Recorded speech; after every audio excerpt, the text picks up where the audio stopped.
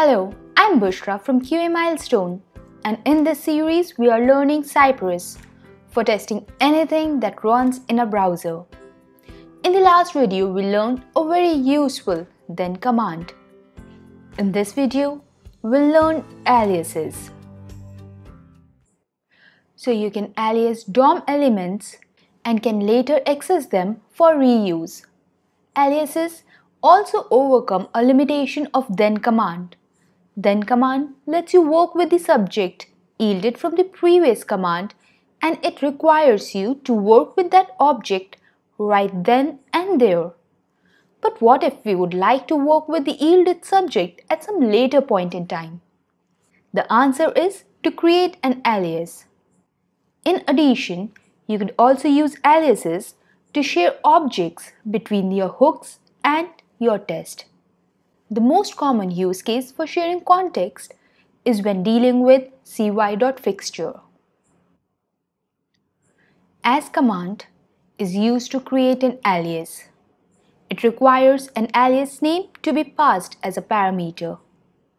The name of the alias is later used to reference within a cy.get or cy.wait command using at prefix.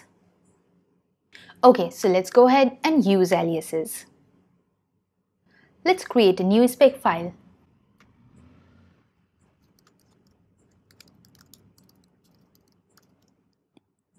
We'll copy the code from the previous file.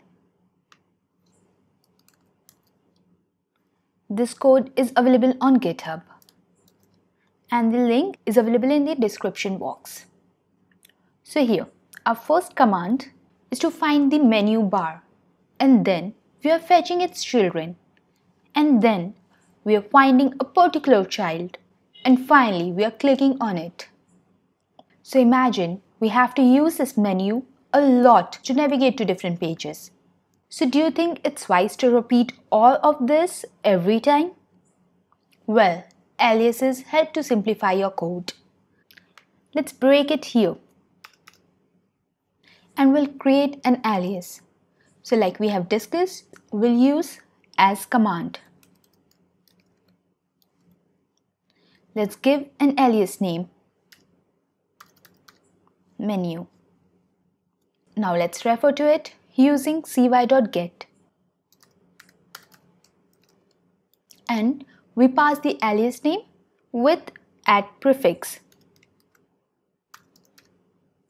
And then we proceed with what we were doing. Here.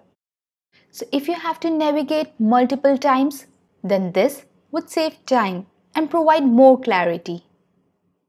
So we have created an alias here using as command. Then we refer to it in cy.get now let's see how aliases overcome a limitation of then command. So here, say we don't want to work with this text right here. So let's remove this. We also don't need to store it in a variable. Instead, we'll return it from the then command.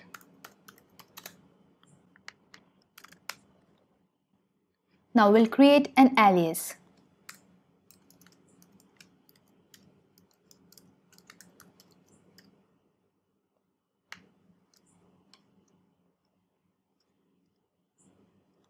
And let's use it now.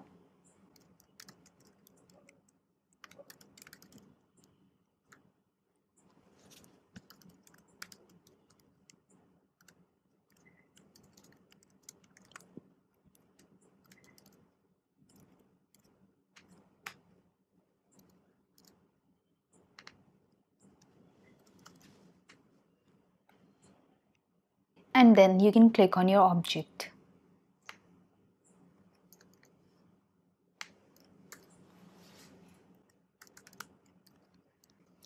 So we are not using this object right here within this then command, but we have moved it out, right? We are using it here.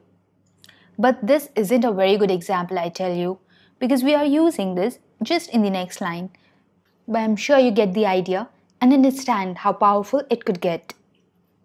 So I hope you enjoyed this video. See you in the next video.